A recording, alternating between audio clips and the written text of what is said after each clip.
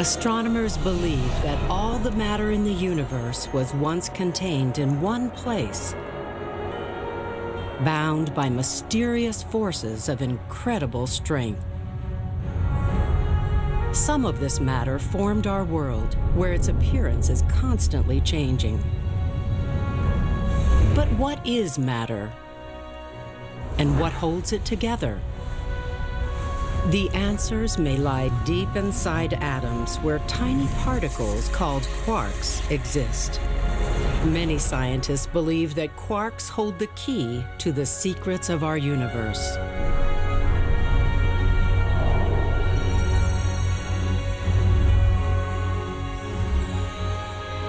Throughout the ages, we've been breaking the universe into smaller and smaller bits, looking for the ultimate building blocks of matter the classic picture of the atom shows electrons in orbit around a nucleus.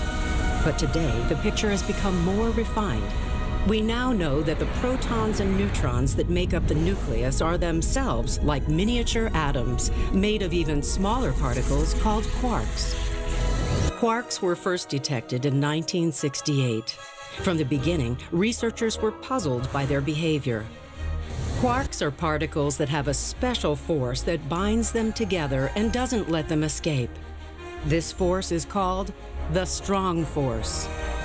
But what is this mysterious strong force, which is unlike any the world has ever seen? To find out, scientists need an instrument that allows them to measure and study quarks with great precision. That instrument is the Continuous Electron Beam Accelerator. And its home is the Thomas Jefferson National Accelerator Facility in Newport News, Virginia. Jefferson Lab is a nuclear physics research facility funded by the U.S. Department of Energy. More than 650 people work at Jefferson Lab and an additional 1,300 scientists and students from all over the world use the lab to conduct research that can't be done anywhere else. The ultimate goal of Jefferson Lab is to answer some of the most challenging questions ever asked. What is our universe made of? How does it stay together? In the past, scientists answered these questions by building ever more powerful light microscopes. These microscopes work by shining light on an object. Light particles, called photons, bounce off the object, are magnified by a lens, and enter our eyes. Light sensitive cells in our eyes collect the light and send signals to the brain. Atoms pose a challenge because they are very tiny. A single piece of aluminum foil is 250,000 atoms thick, but we can see individual atoms with the help of powerful electron microscopes. Quarks, though, are at least a million times smaller than atoms, and conventional microscopes do not work at that scale. To see quarks, you need a microscope powered by an accelerator. Jefferson Lab's Continuous Electron Beam Accelerator facility is one of the most powerful microscopes in the world. At Jefferson Lab, we use electrons instead of photons to look into the nucleus. The accelerator sends electrons into the nucleus, where the electrons scatter off protons, neutrons, and their constituent quarks. Large detector systems record what happens when the electrons bounce off the nucleus. The accelerator's high-tech hardware and electronics stretch through an underground tunnel nearly a mile around. When experiments are being conducted, the accelerator runs continuously 24 hours a day it's not easy to hit the nucleus of an atom. If the nucleus were as big as your fist, the electrons circulating around it would be more than a mile away. Because atoms are mostly empty space, the accelerator must fire billions of electrons at enormous speed in order for one to hit the nucleus. Jefferson Labs electron beam begins here in a device called the injector. Three streams of electrons are merged into a continuous strand the size of a human hair to begin their journey around the racetrack of the accelerator. They'll accelerate from a standing start to nearly the speed of light and travel five miles in 30 millionths of a second. The electrons gain energy by surfing on waves of electrical energy. The donut-shaped cavities that contain these waves are made of a special metal called niobium. When currents travel through most metals, the metal offers resistance, but niobium is a superconductor. In conditions of extreme cold, it loses nearly all resistance. Hundreds of these cavities line the straightaways of Jefferson Labs Accelerator Oval, chilled inside giant thermos bottles called cryomodules. Chilling the niobium cavities not only allows the accelerator to run continuously, it also allows the accelerator to use far less power than older accelerators. Superconducting technology makes Jefferson Labs Accelerator the most efficient particle accelerator in the world. After five laps, the electrons are routed to one of three giant experimental halls where the beam smashes into its target. The beam ricochets off the target's nuclei and their protons, neutrons, and quarks. The target chambers are coupled to massive detectors that measure the interaction between the electrons and the quarks. In two of the halls, carefully placed spectrometers the size of a house measure particles flying off in specific directions. In the third hall, a giant spherical detector can track particles flying in almost all directions at once. Whenever a particle is detected, an electrical pulse is sent down cables and is recorded by computers. The lab uses powerful computers to scour the vast amounts of data produced by each experiment, looking for patterns in the particles scattered by the electron beam. The research conducted at Jefferson Lab and other national labs has led to the development of technologies that directly benefit society.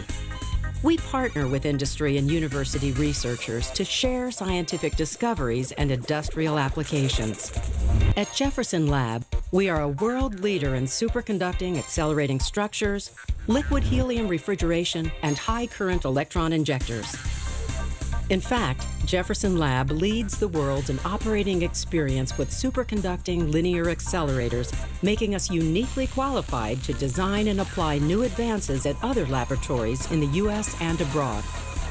Jefferson Lab also operates the world's largest facility for fabricating superconducting radio frequency cavities and has produced about 40% of the cavities worldwide. Our cryogenics group has received numerous awards for improving the efficiency of cryogenic plants at NASA and other Department of Energy facilities.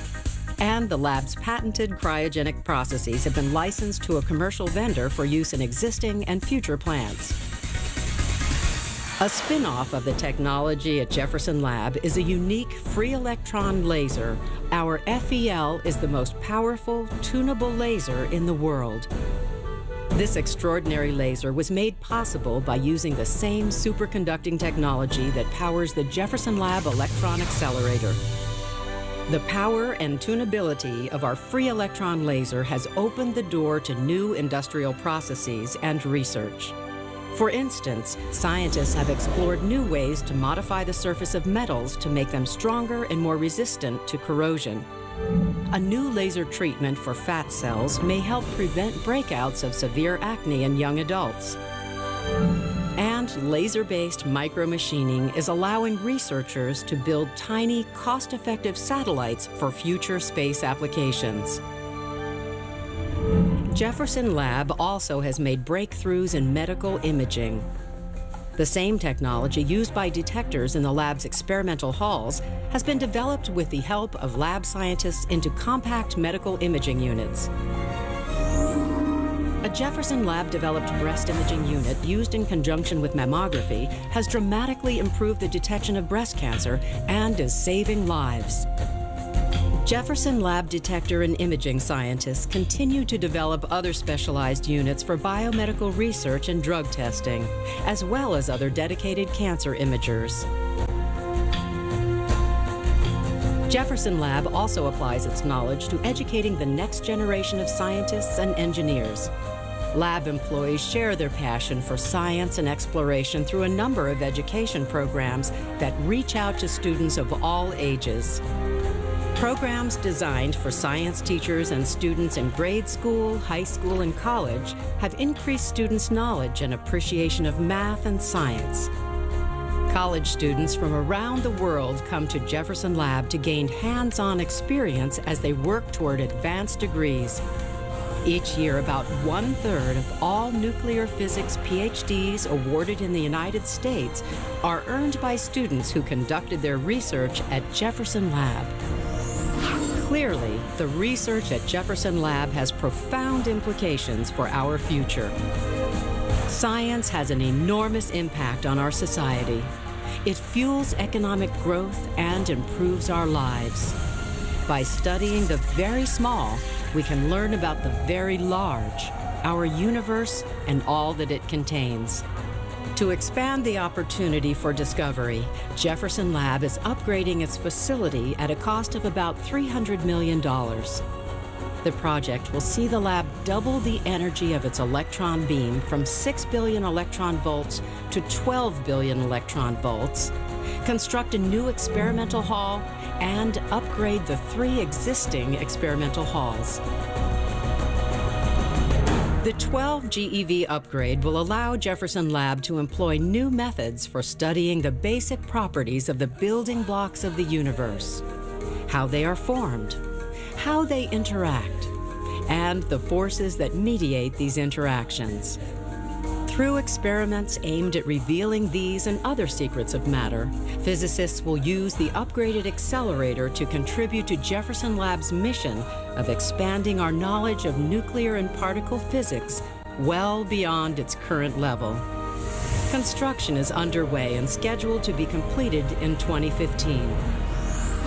Throughout the 20th century, the electron and its applications dominated technology and revolutionized human society. Perhaps the 21st century will be dominated by the quark and the remarkable forces that forge and shape the atomic nucleus. If so, Jefferson Lab will be in the forefront of that effort.